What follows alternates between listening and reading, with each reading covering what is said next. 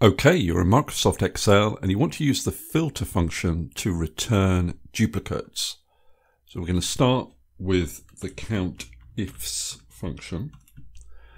What you have to do for each column is this. Your criteria range is the column, comma, and then your criteria for that column is the same column.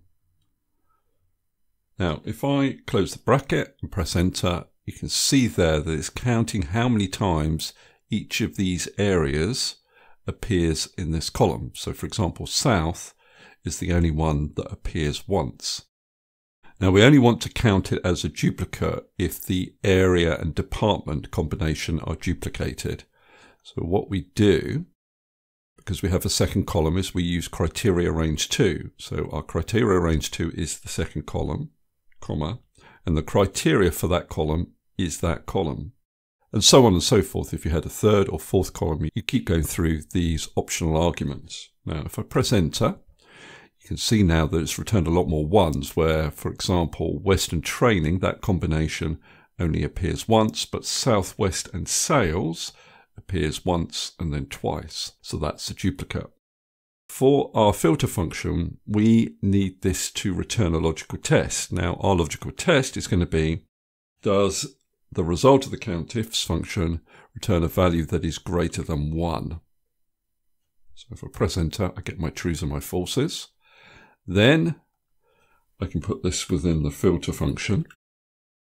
My array is the array of values that I want to filter. So that's going to be this range of cells here, comma, in the include argument, that's where we're using this logical test, comma, and if you wanted to, you could use the if empty argument to specify no duplicates if no duplicates were found. So if I close the bracket and press enter, those are the duplicates. Now it might be useful to sort these columns by area and by department, and we can do that using the sort function.